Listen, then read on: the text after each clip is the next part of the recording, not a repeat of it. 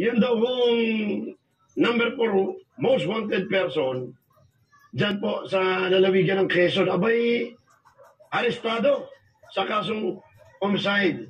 Detalye mula sa ating kasamang Romel Madrigal. Malawak ang kampanya ng Quezon Police Provincial Office laban sa mga most wanted persons. Hindi nakaiwas ang rank number 4 na suspek para sa kasong homicide na sinasay sinagawang joint operation ng San Antonio PNP at PIO Quezon PPO sa Barangay Poblacion San Antonio, Quezon.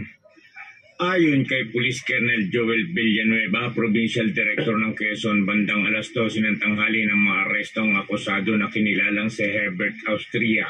Apat na putsyam na taong gulang ng barangay poblasyon ng nasabing bayan at lalawigan. Naaresto si Austria sa bisa ng warrant of arrest na pinalabas ni Honorable Agripino Rojas Bravo, Presiding Judge Court Judicial Region, Branch 55 Lucena City, Quezon, na lumabas noong March 28, taong kasalukuyan.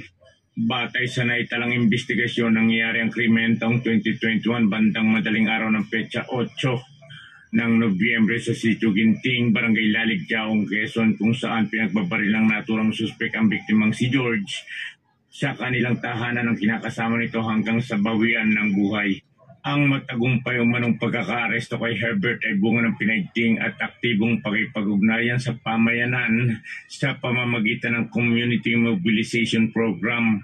Sa kasalukuyan ng naturang suspek ay nasa pangalaga ng San Antonio Custid custodial facility para sa tamang dokumentasyon at disposisyon.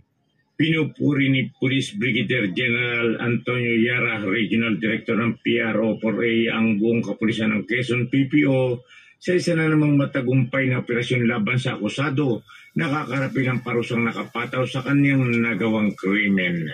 Mula sa area ng Calabarzon, Romel Madrigal nagulat sa DCRJ 810, ang radyo, Bandido TV. Okay, maraming salamat paring uh, Romel Madrigal.